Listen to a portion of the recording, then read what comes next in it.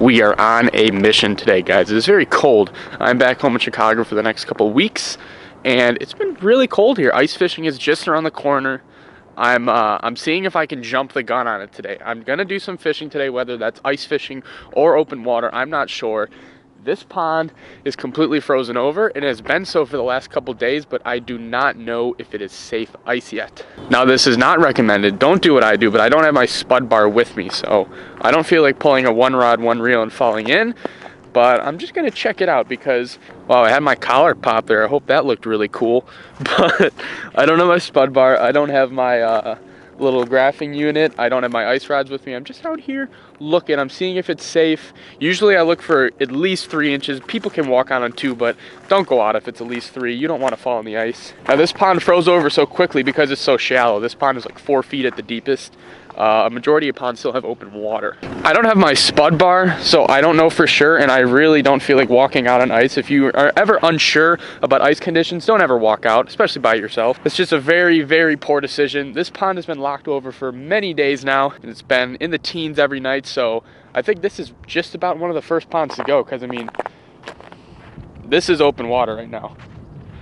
There's definitely at least three inches out here. But again, I'm not gonna walk out further.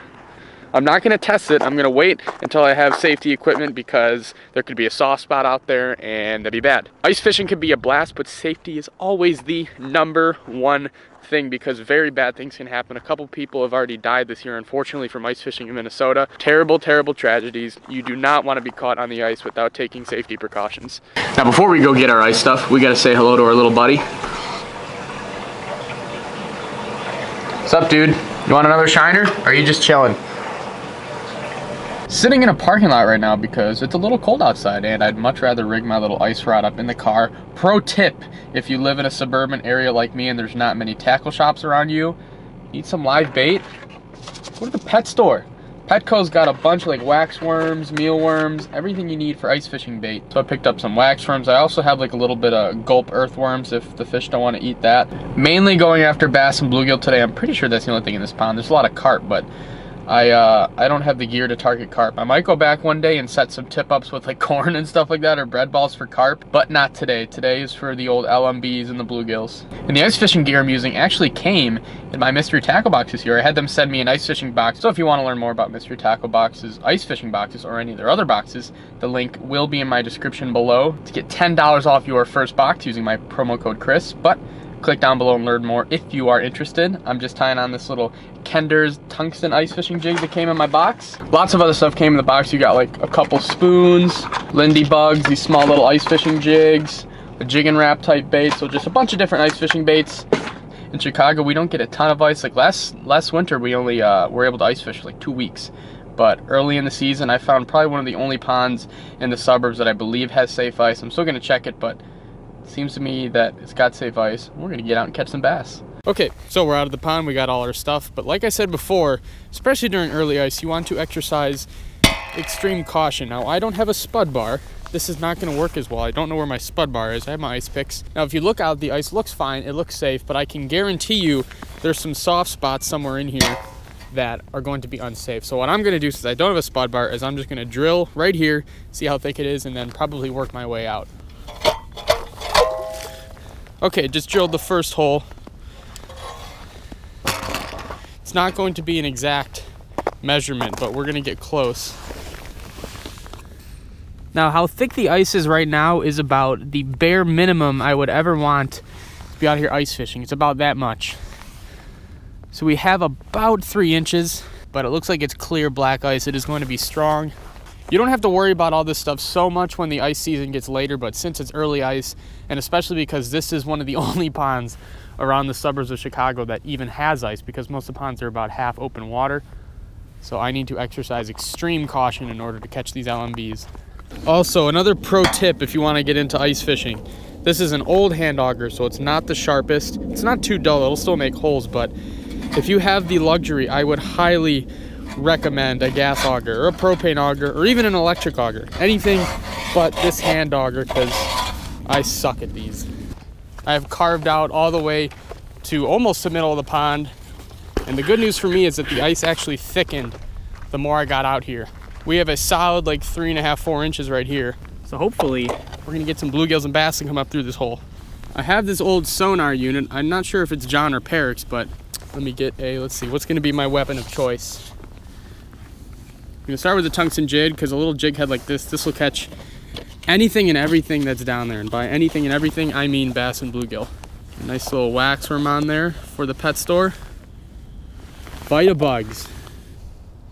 You've got to find the deeper water, especially in ponds like this that are mostly shallow. Almost all those fish are going to be in the deep hole, whether that's four or five feet, six or seven foot, 10 foot. They're going to be staged in that deep wintering hole.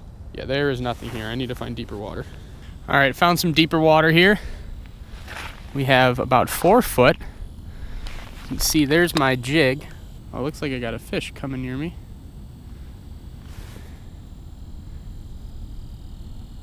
There's first fish. First fish through the ice. And it is a Dinko bluegill. okay. You know what? I'll take them. First fish of the 2017 2018 ice season is a two inch at best bluegill. So I'm sure some of you are curious about how these things work. That's the bottom right there in four foot. My jig is at three. It's the thing that's moving. Any little line under it, like that's probably a small bluegill right there that's looking at it. Oh, we have some shy fish right here. I keep marking fish that come right up, zooming up to my bait. Then they sink right back down just as fast as they came up. We got some shy fish. They're supposed to be super aggressive early. That's why people usually race to get out early ice. Typically very early or very late ice, depending on the species you're trying to fish for, is the best bite of the season. Come on. You know you want this little jig. There we go. There's that huge bass that we were playing with. We're gonna have to switch up tactics to avoid these tiny little stunted bluegills. I might switch to that spoon. Yeah? Is there no ice fishing here? Is there no ice fishing here? Get off the ice. All right, well, cop's getting me off the ice. This will be interesting. He didn't sound very happy with me either. Okay, well, I don't really know why I'm getting kicked off the ice right now. There's, there's a public pond. There's no no fishing signs. There's no no ice fishing signs, and he's not coming over here, so I don't really know what the deal is. I guess I can't fish here. I asked him if there was no ice fishing here, like you guys heard, and he just continued to yell, "Get off the ice!" I need to be in somewhere like Minnesota where ice fishing is more widely accepted than the suburbs of Chicago. People think that just because you're standing on ice, you're about to die and fall in and do something dumb.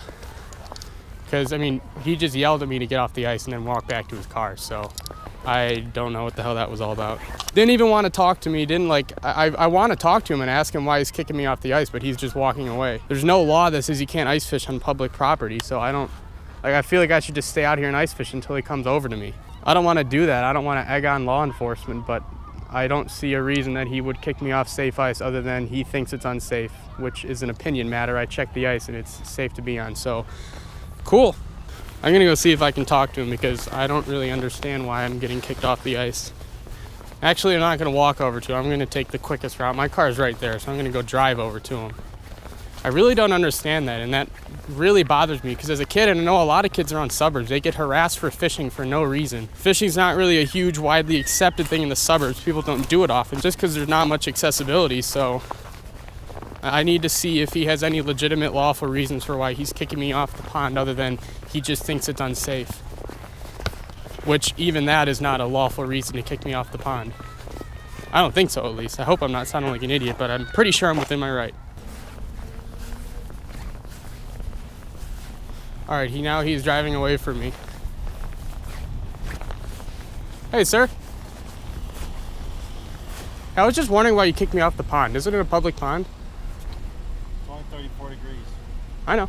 Well, there's four inches of ice. It's safe ice. Four inches not a lot of ice. Oh, I know. But uh, I mean, I've been ice fishing my whole life. It's like two to three inches is usually what I go out on. It's safe. I just didn't know if it was a private pond or not. I know the kids thought it was quite the spectacle, but I just didn't know if it was like a private deal or not. Somebody else called. People called? I mean, it's it's been fairly cold at night, but not even that cold yet. I mean, I, this is one of the few ponds that are iced over, but I mean, I've been out there for like two hours. It's not cracking or anything. I just didn't know if it was private or not. Yeah. I'm not gonna go back out there, man. I don't. There's kids in recess. I don't want to cause a spectacle, yeah, but I mean, obviously, you know, it's your ass. I get it, but Yeah. I don't. I don't want anybody falling through. Either. yeah, no, trust me. That's that's my last. Uh, gotta go get you. yeah, that's the last thing I want. Okay. So, I mean, you've been doing it for years, or no? Yeah. Like, yeah. Yeah. I mean, I've yeah, I have like ice picks and everything just in case I do fall in. Yeah, right now the ice is probably like that three and a half inches. I mean, consistently though, that's the only Yeah. thing. You know what I mean? You think it's pretty consistent? Well, I'm not walking all over. I'm just like drilling holes and walking out five yards. I mean, I'm being really careful. I'm not like trying to go back out there and fishing. I'm just like thinking for the future because it is like because I fish here in the summer. It's a public pond, right? Yeah. I mean, you know, it's gonna be a little colder at night coming up too, for sure. Yeah, I mean, today I could say it's 34, but I know it was colder last night. Yeah, And again, I don't. I just don't know how consistent it will be through the whole time. yeah. No, okay, I get that. Yeah. I'll tell my boss. I said, look, man, he said it's four inches thick right now. Yeah, no, I'm not out here like trying to get killed or anything. I'm trying to be safe. I was just Yeah. wanted to make sure and talk to you that it, it actually was public Yeah, pond. I think, yeah, yeah, it's still kind of early in the season, and I think Yeah. probably the main concern is going to be again whether it's going to be this thick in one area and four Yeah, inches in another. yeah, how even it is. Obviously, that's fine. Yeah, because I mean, well, I, like just like you said on ponds like this, like ducks and geese can keep some areas open and then they'll lock over overnight. So, I mean, I get what you're saying. You got to be careful. I know that. All right, well, thank you, sir. just keep in mind. Yep. Okay, well, not that that police officer interrupted the most lights out ice fishing session in the world, it does kind of confuse and bother me a little bit. He said multiple people called on me just because I was out ice fishing. And I get it.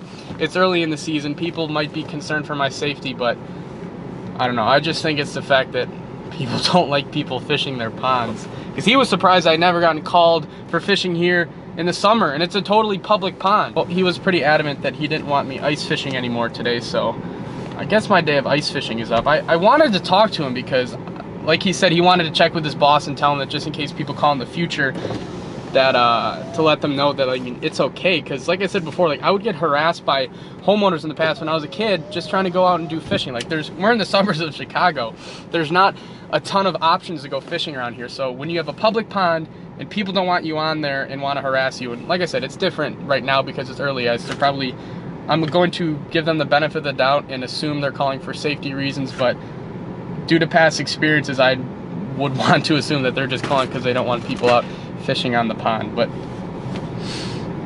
I don't know. What are you gonna do? Like I said, he didn't exactly rip me away from a super hot bite. I just switched to that big spoon and nothing. Oh, I don't know what we're gonna do now. We're in that super awkward time of year where the ponds are like half iced over, and you'd be damn lucky to get a bite on conventional tackle and there's not really much safe ice at all. That was kind of the only pond I knew of that have that had safe ice. I think to people that don't fish, ice fishing just scares them 10 times more than regular fishing and to good reasons because I've been called the police has been called on me for ice fishing way more than regular fishing, like way more.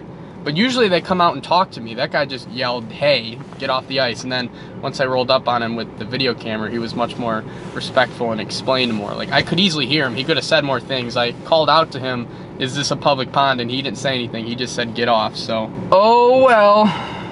What are you gonna do? These struggles of a fisherman in a big city. So here's the issue of the Chicago suburbs right now. Here's another pond that's got some decent panfish and bass in it. I enjoy fishing it. It's usually productive, but it is not fishable right now, as you guys can see. It is uh, it is all iced over, but unlike the other pond that was much shallower and had much safer ice, not safe. Not safe. This will be a good test. Oh, look, at there's a big dead shad. I did not know there's shad in this pond. Good to know. Maybe this will be a swim bait pond, but this is how unsafe the ice is. I obviously weigh much more than this stick.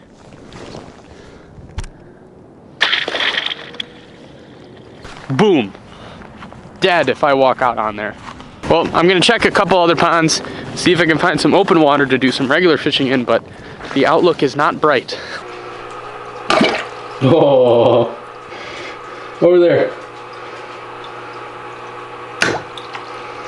Now, what I wanted to talk to you guys about real quick was ice fishing destinations. I know a lot of you love ice fishing. If you have a place you've loved going to, if you have a place that you live at and want to invite me to, let me know. I want to get out and ice fish with you guys this winter. I'm going to take at least two to three ice fishing trips over the next month and a half. A lot of February and March, I'm going to be down south bass fishing, but for the main juicy chunk of that ice season, I'm going to be up in the ice belt doing some ice fishing. So if you guys live near some awesome ice fishing destinations, if you know of any and have had good trips somewhere, then let me know. Last year I got to Lake Winnipeg for walleyes, Lake of the Woods for lake trout, which Peric and I didn't catch anything there. And then uh, me and my buddy Josh went to Lake Simcoe for big perch. I did some big crappie videos. So I kind of went all over the place, but I'm down to do anything new. I love doing new things. And there's a ton of different species you can target on the ice. I'm really hoping and praying Erie freezes over, but I'm not going to hold my breath because it's a rare occurrence. Today was just the beginning, kind of a buzzkill that I was shoot off the only ice fishing spot that I can think of. Again, I, I get it, but